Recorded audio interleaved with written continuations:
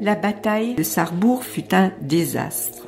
Des milliers de morts et de blessés, des villages incendiés, les récoltes saccagées et une impitoyable répression contre la population qui avait accueilli les troupes françaises.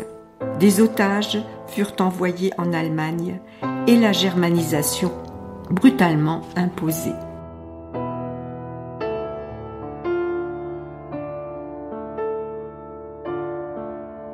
Lorsque l'armée française entraîna le repli des soldats allemands surveillant la frontière, non loin d'Abrège-Villers, la foule tout entière l'applaudit en croyant leur espoir accompli. Mais prévint qu'à voyez, les Badois ont rempli de béton leurs abris, ourdis en caponnières, sur toutes les hauteurs où s'abritent derrière leurs troupes préparées à vaincre sans impli. Mais manquant de canons, face aux leurs, redoutable, redoutable, redoutable, son sort, dès le 20 août, devint inéluctable, la poussant au retrait et l'abandon des morts.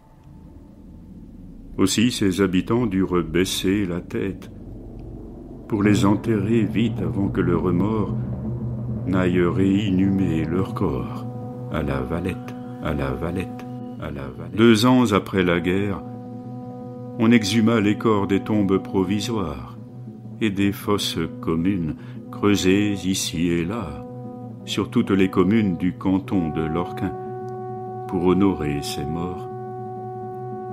C'est donc à la Valette, alors que par accord avec les Allemands, l'on ne construirait qu'une unique nécropole, où la cause de l'une ou de l'autre partie oblige au même effort du fait qu'en chaque bord, les enfants de Moselle remplissaient ce devoir, que la guerre cruelle avait mis en leurs mains en Moser ou Lebel, en Moser ou Lebel. Si le sous-lieutenant Petermann à sa tombe à l'écart, dans le bois de Voyer, ce fut belle et bien sa volonté, ressortant d'outre-tombe, d'outre-tombe. Le sous-lieutenant Robert Peterman avait 21 ans et venait de sortir de Saint-Cyr. Il appartenait à la 5e compagnie du 149e RI. Il a laissé un journal dans lequel il rapporte une partie de ses actions autour d'Abrechwiller jusqu'à sa mort au combat.